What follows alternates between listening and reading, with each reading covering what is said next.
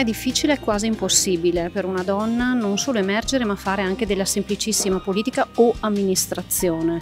Questo perché? Perché noi donne non facciamo una cosa sola in un solo momento, ma manteniamo tutto il nostro lavoro e quindi il lavoro professionale, il lavoro a casa, le passioni, gli hobby, le amicizie, la famiglia di origine oltre che quella attuale. Di conseguenza inserirsi dentro anche con un impegno civico, un'amministrazione appunto o politica all'interno di qualche partito è veramente veramente molto difficile.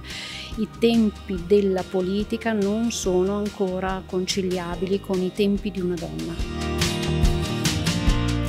La mia esperienza in politica, durata cinque anni all'interno del Comune di Verona come assessore in particolare al bilancio, poi al commercio, comunque con deleghe poco, poco visibili, ecco, poco da taglio del nastro, è stata vissuta con eh, molta responsabilità e pathos, soprattutto nei due anni del Covid, della pandemia, perché abbiamo avuto del, degli sdebiti, del, delle, proprio delle carenze di bilancio molto molto pesanti. Abbiamo fatto degli equilibri a 58 milioni di euro, ciò significa che avevamo previsto un meno 58 milioni di euro questo tipo di responsabilità mi ha determinato poi a limitare la mia esperienza politica perché quando la fai con, un